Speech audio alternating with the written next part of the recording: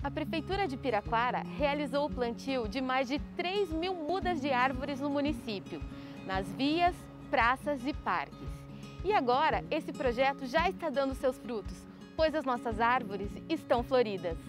Foram 16 espécies escolhidas, entre elas o ipê amarelo, a quaresmeira, a pata de vaca e o manacá da serra. A escolha pelo plantio de mudas é devido ao fato de que árvores crescidas podem não se adaptar ao solo. As árvores nativas oferecem melhor equilíbrio ecológico e abrigo à fauna. Em geral, são muito bem adaptadas ao clima e às condições da região. Após alinhamento entre as secretarias municipais de desenvolvimento urbano e meio ambiente, os projetos contaram com intervenções paisagísticas com o objetivo de que, ao longo prazo, Piraquara esteja mais arborizada trazendo benefícios à cidade e aos seus habitantes. Eu gostei porque faz 49 anos que eu moro nessa rua.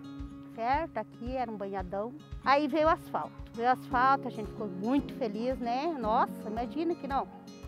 Aí eles vieram, né? Estão fazendo esse plantio de árvore, né? Estou amando as árvores, né? Porque eu cuido muito bem das árvores, eu adoro, brigo por causa de uma planta, sabe? Até com as crianças eu brigo.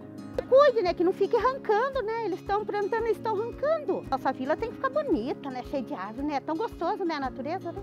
Infelizmente, algumas mudas são alvo de roubo e vandalismo. E o pedido é para que a população ajude a cuidar dessas árvores, pois elas revitalizam a área urbana e os benefícios refletem em todos nós, inclusive com a valorização dos imóveis.